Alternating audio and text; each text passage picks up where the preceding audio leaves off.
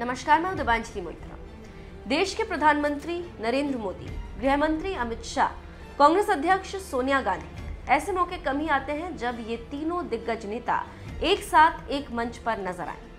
क्योंकि सड़क से लेकर संसद तक कांग्रेस और बीजेपी के बीच ज़बरदस्त संग्राम देखा जाता है। लेकिन बुधवार को वो हुआ जिसे देखकर हर कोई हैरान रह गया। क्योंकि पहली बार पीएम मोदी, अमित शाह और सोनिया गांधी एक साथ अगल बगल बैठे नज़र आए।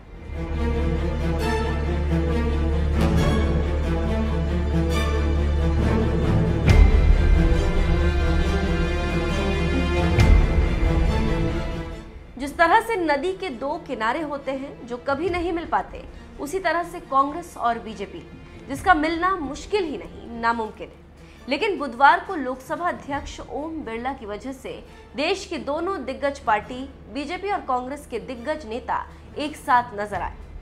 दरअसल मानसून सत्र की शुरुआत से ही कांग्रेस समेत विपक्ष और सरकार के बीच ज़बरदस्त गतिरोध चलता रहा। ये गतिरोध इस कदर था कि लोकसभा अध्यक्ष ओम बिरला को तय समय से दो दिन पहले ही लोकसभा अनिश्चित काल के लिए स्थगित करनी पड़ गई। विपक्ष और कांग्रेस के बीच चल रही इसी तनातनी को खत्म करने के लिए ओम बिरला ने संसद में स्थित अपने कक्ष में सरकार समेत विपक्ष के सभी नेताओं को बैठक के लिए बुलाया। इस बैठक में कांग्रेस, तृणमूल कांग्रेस, अकाली दल, वाईएसआर कांग्रेस समेत कई विपक्षी दलों के नेता शामिल हुए। लेकिन जिन तस्वीरों ने लोगों का सबसे ज़्यादा ध्यान खींचा, वो ये तस्वीर थी। पीएम मोदी और सोनिया गांधी की। इस अहम बैठक में सोफे पर एक तरफ़ जहाँ लोकसभा अध्यक्ष ओम बिरला और पीएम मोदी बैठे हुए थे तो वहीं बगल वाले सोफे पर कांग्रेस अध्यक्ष सोनिया गांधी के साथ ही कांग्रेस के लोकसभा नेता अधीर रंजन चौधरी बैठे नज़र आए। शायद ऐसा पहली बार था कि पीएम मोदी और सोनिया गांधी आमने सामने बैठे नज़र आए। इसके अलावा पीएम मोदी और सोनिया के ठीक सामने अमित शाह भी बैठे नज़र आए। इसी बैठक के दौरान पीएम मोदी और सोनिया दोनों एक दूसरे का अभिवादन करते भी देखे गए।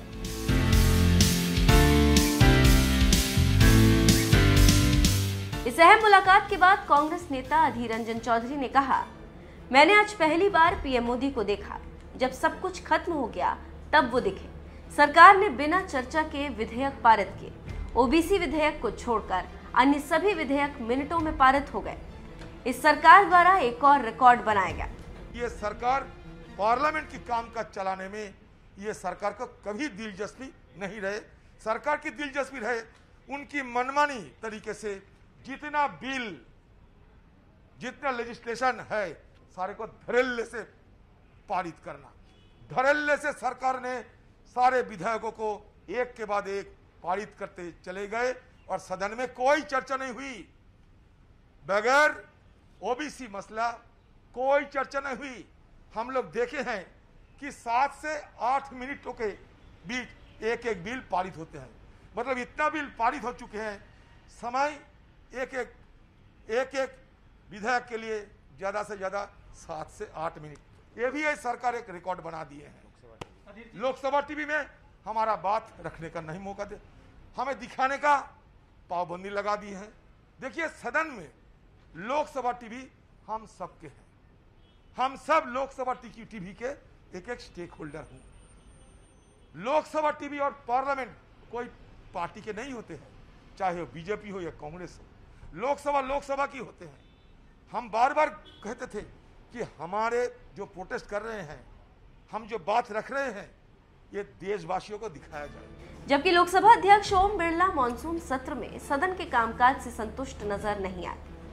उन्होंने सभी सांसदों से आचरण और व्यवहार मर्यादित रखने की अपील भी की। सत्रहवीं लोकसभा का ये छठा सत्र कामकाज की दृष्टि से मेरी अपेक्षाओं के अनुरूप नहीं रहा।